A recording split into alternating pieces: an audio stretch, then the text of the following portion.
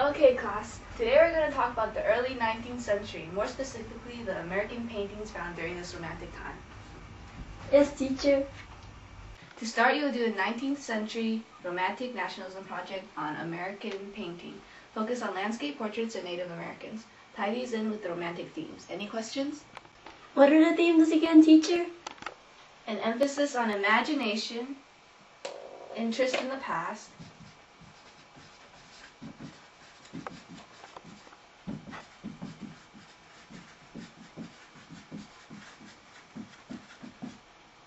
nationalism,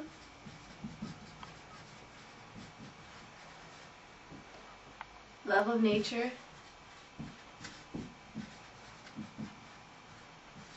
individualism, Gothic imagination,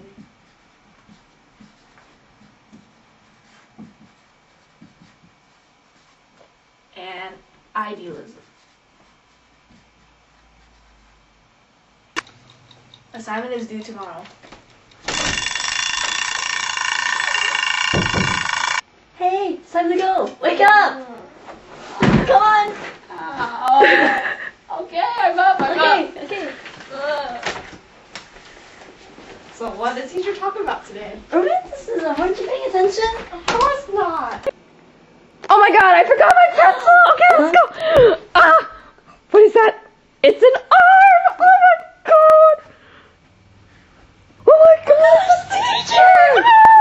Oh my god, what happened? What happened? Oh, I think the paper killed her.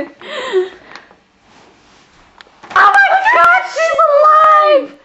I want you to get an A on this project, so take this paper, follow the clues, and you'll get an A. Reading this, then that means I'm dead. However, I still want you to learn about romanticism. So, here's your first clue. There is a stream surrounded by trees, a picture of the American dream, hiding some keys to the treasure, the distance you have to measure. Whatever, just find me.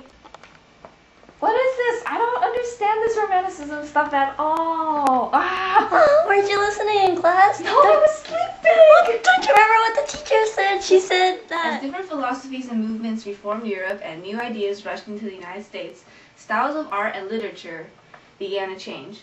The age of reason and rationalism that had swept America in the 18th century gave way to Romanticism, a movement that stressed individualism, emotions as opposed to practicality, nature and solitude as opposed to the public and the urban, etc. In the early 19th century, during the Romantic movement, artists began to paint beautiful yet enigmatic sceneries depicting the magnificence and mysteries of nature.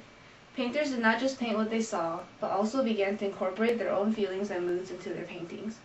Paintings of the supernatural and Gothic began to spring up, paintings of the mysterious and Oh, I get it now. So all these clues have to do with romanticism. Yeah. Wait, there's something on the back. Oh, it's a picture. It's a teacher stamp. Oh, okay, so this is from the teacher then. Okay, so Okay. what romantic themes would be in this picture? Hmm. Well, it's a landscape, so there's a love of nature. Yeah, yeah, Yeah. so you can see the trees and stuff. Uh-huh. And then, oh, there's like dark spots, so it's showing like, Contrast between Contrast? lighting, Yeah, because it's yeah, also light in the middle. and then also like gothic imagination, so it's giving off a kind of mysterious feeling. Yeah. It has to be a place where there's trees And Water. water. and some rocks and maybe dark. So it's got to be close to here, right? Right there. Yeah, okay, let's go, let's go. Okay. Ah! Oh, and it looks exactly like this picture right here. Oh yeah. So There's like water, and look, that even looks like a waterfall. Yeah. And trees. Oh hey, look, look, look. Oh my God, there's a key there, just like in the clue. Let's go. Hey, but there's a teacher's stamp. Yeah, so that means it has to be a clue, and we have a key. I guess we'll just save it for later. Okay. Hmm.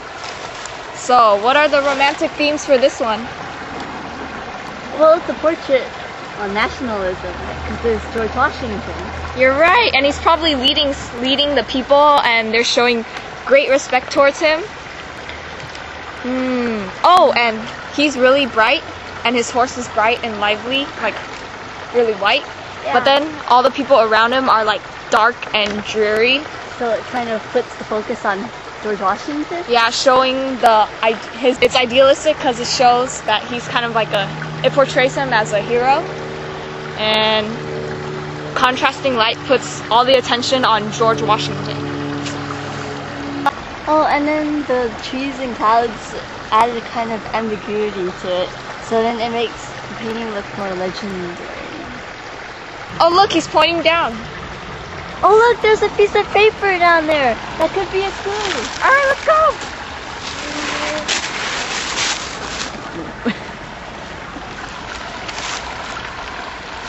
Hey, I know this painting. It's the Mona Lisa. Oh my god. So let's see the romantic elements. Oh, I know. It's like the Mona Lisa. She's like really white, and it's contrasting with a dark background, and it's giving off a mysterious feeling on the edges. So this is probably a clue, right? No, were you even paying attention in class? There, no, Mona Lisa was painted during the Renaissance. Oh. The romantic period is in the early 19th century. Oh, Oh, sorry. yeah. So that's probably then- not our clue. Okay, so what's the next clue? Oh, it's on the back. Oh! Uh, okay, so what romantic themes are in this picture? Well, there's a contrast of dark and light between the person and the background. Oh yeah, that's true. And the background kind of gives off this mysterious feeling. And there's some trees, so it shows the love of nature. And then there's the focus on individual because it's a portrait. And it's kind of showing him in a greater light. So Hmm, so how how does this connect to our next destination? I don't know. Ah, I don't never know. met this guy. Ah, this one's hard. Oh man, this really sucks. I wanted to get that A. hey, look! A red ribbon! It's just like the one in the painting. Oh my god! Maybe, maybe this is the next clue. Okay, let's go. It's locked. The key! Oh yeah. Okay. Where did you put it? Finally! Oh, I thought you were dead. It was only a paper cut. Sit. you got your A's, but for taking more than you sh- more time than you should have, you guys are gonna have another lecture. No. So, As I said before, Romanticism exalted individualism, subjectivism, rationalism, imagination, emotions, and nature. Emotion over reason and senses over intellect. Since they were in revolt against the orders, they favored the revival of potentially unlimited numbers of styles, anything that aroused them. Romantic artists were fascinated by the nature, the genius, their passions and inner struggles, their moods, mental potentials, the heroes. The first coherent school of American art, the Hudson River Painters, helped to shape the mythos of the American landscape, beginning with the works of Thomas Cole and Asher B. Durand, and evolving into the Luminist and late Romantic schools. Landscape painting was the prevalent genre of the 19th century American art. They started in 1835 and ended in 1870. The Hudson River School was the first American school of landscape painting, and their subjects of art were romantic spectacles from the Hudson River Valley and upstate New York. The artist Thomas Cole is synonymous with this region and the first leader of the group. Other famous artists of the group are George Caleb Bingham, Asher B. Durand, Thomas Moran, Albert Bierstadt, Frederick Edwin George Inness, John Frederick Kensett, Martin Johnson Heade, and much more.